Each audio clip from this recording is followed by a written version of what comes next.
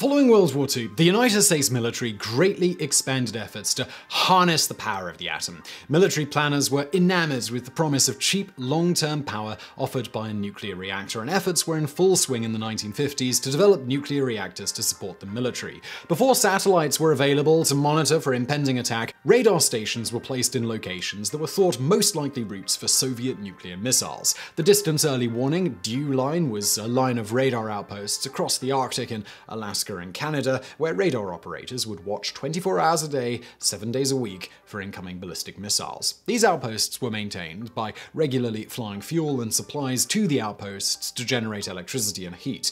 Perhaps it goes without saying that this was seriously expensive, and the US military was very interested in a cheaper alternative and so looked to nuclear reactors. A series of reactors were envisioned, some mobile to be identified as M-type reactors, some stationary designated as S-type, at a variety of power levels, L for low, M for medium, H for high. One of the first of these reactors to be developed was the SL1 reactor, S for stationary, L for low power, and 1 because it was the first of this type. The intended purpose of this particular reactor was to provide heat and electricity to radar monitoring stations along the DEW line. The reactors were designed to take advantage of local materials for shielding wherever possible, and were also designed such that the pieces, when disassembled, could be easily transported to the location where they would be set up and operated. This meant that the large concrete structures used used to safely contain modern reactor vessels would have been too heavy and too costly to build, so a simple steel building was erected to protect the reactor components from the elements. The hope was that the soldiers with a minimal amount of training would be able to operate and maintain these reactors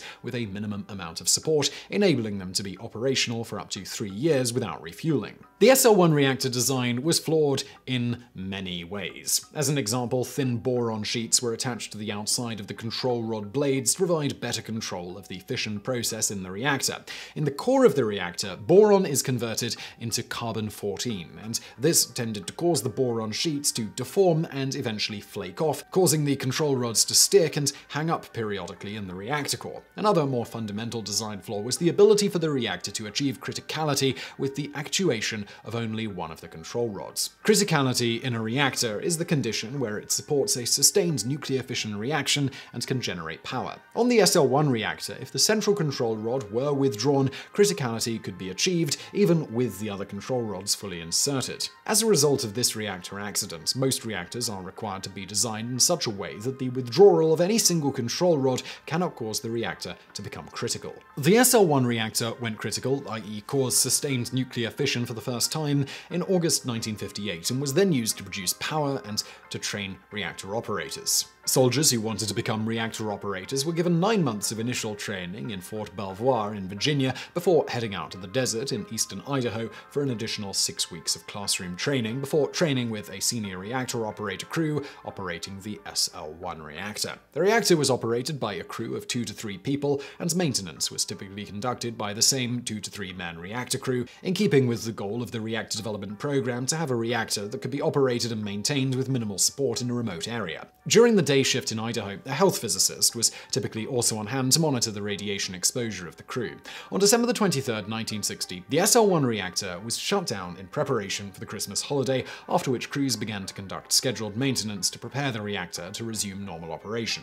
On January 3, 1961, the night shift took over maintenance operations on the reactor from the day shift. This included two Army men, John A. Jack Byrnes, the senior reactor operator, and Richard L. McKinley, a trainee, and a Navy man, Richard C. Dick Dick Legg, the assistant operator and shift supervisor. For the most part, the men on the shift were competent and unremarkable among the other trainee reactor operators in their class. Several interesting things emerged after the accident in relation to the men involved, however. Jack Byrnes, for example, worked part-time at a gas station, filling cars with gas, topping up tires, and cleaning windows. While Byrnes didn't invent the side hustle, this has to be one of the more interesting pairings of all time. Nuclear reactor operator by day, pump jockey by night. Byrnes was also having some sort of marital trouble, and it is known that Byrnes's wife called the reactor building a few times on the night of the accident, although whether this played into the events on the night of the accident is unknown, as is the substance of their discussion. After the accident, it also came to light that Dick Legg was also known as a prankster. Among his many pranks, he reportedly once turned off a fan used to cool a specific reactor instrument,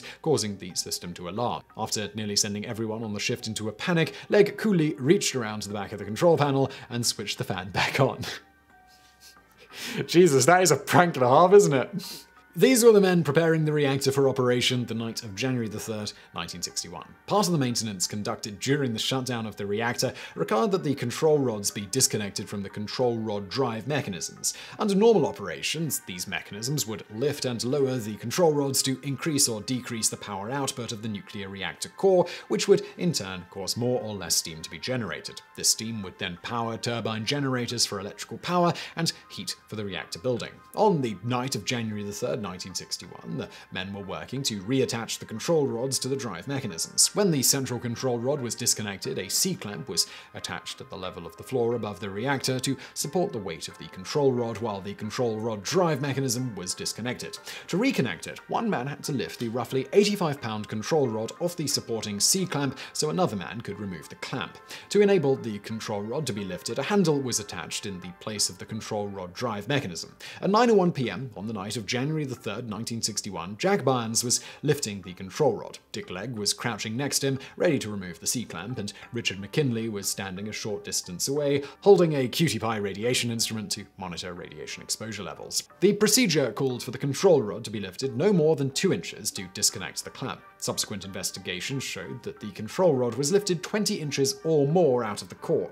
This caused the power level in the reactor to rise extremely quickly, a condition referred to as prompt criticality, and within fractions of a second, much of the fuel had melted and a large amount of steam was formed. This steam explosion then caused the large layer of cooler water above the reactor core to accelerate upwards and slam into the underside of the reactor vessel head.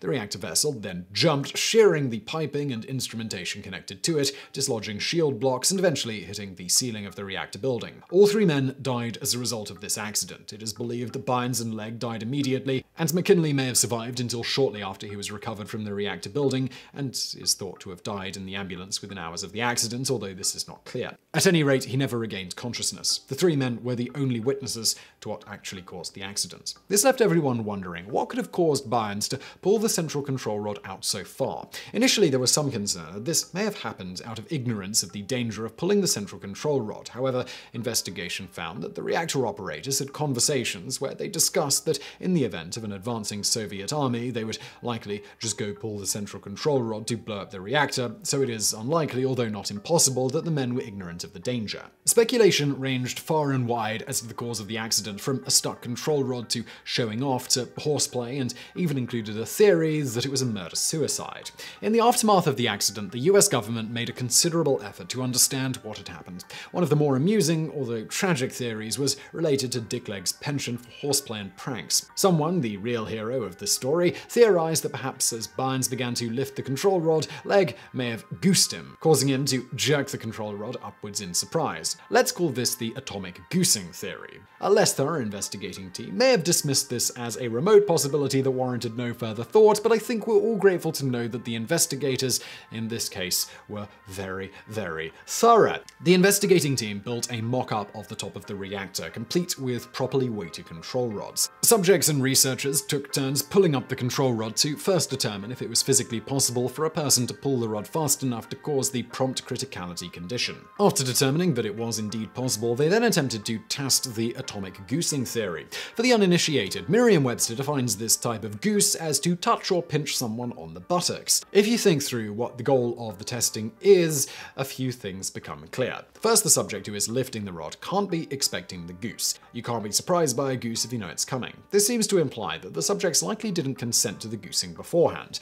One can only speculate on what the subjects were told and how things were explained afterwards. Second, the nature of the goosing could play a role in the response of the subject to said stimulus. Given this, we can only assume that somewhere deep buried in the government archives there exists a procedure for delivering the appropriate goose, perhaps with diagrams, maybe a step-by-step -step process, perhaps even calibration jigs and necessary training to perform the correct goose. Even if such a document doesn't exist, we can all rest comfortably with the assurance that US tax dollars were once used to goose people for science. What we actually know of this testing is largely from interviews with C. Wayne Bills, who was the deputy director of health and safety at the Idaho site at the time of the accident. He describes the subsequent testing as including a sudden release of the rod while someone pulled it up, simulating the stuck rod condition, as well as someone sneaking up behind the person and lifting the rod and poking them in their sensitive areas. He notes that none of the tests caused those doing the lifting to inadvertently pull the central control rod more than a few inches, let alone the 20 or more that led to the accident. The official conclusions of the investigative team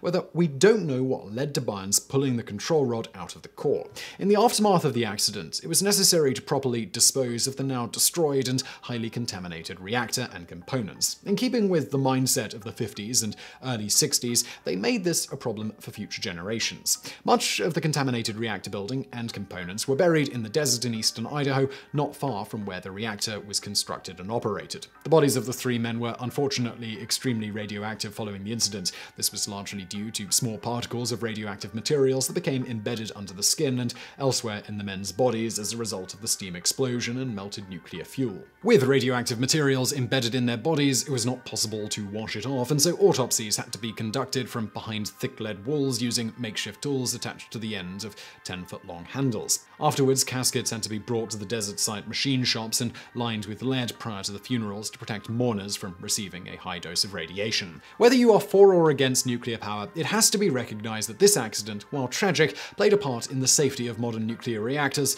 and perhaps we can all smile at the time that the US government goosed people for science.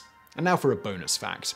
There wasn't actually any marketing firm behind the name of the Cutie Pie handheld radiation detector, even though it sounds like exactly the sort of radiation monitor used by the My Little Ponies, or something that would come in a strawberry shortcake nuclear reactor playset. It turns out that the name was given to this type of meter in a now declassified Atomic Energy Commission paper from September the 22nd, 1945, near the end of the Manhattan Project. This paper details the construction of the Cutie Pie radiation detector. In that document, the device is described as containing a circuit that was as simple as possible, yet sensitive for radiation work. It also states that they named it Cutie Pie because of its diminutive size. Perhaps the proper way to hold it at fancy tea parties or high-class nuclear reactor functions was with the pinky extended, although no mention of this appears in the AEC paper. So I really hope you found that video interesting. If you did, please do hit that thumbs up button below and don't forget to subscribe for brand new videos. And as always, I'll see you next time.